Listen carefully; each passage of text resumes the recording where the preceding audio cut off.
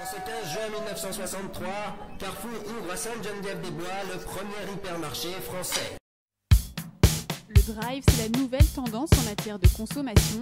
15% des consommateurs en sont des clients fidèles. En 2012, Auchan a préparé plus de 10 millions de commandes. L'enseigne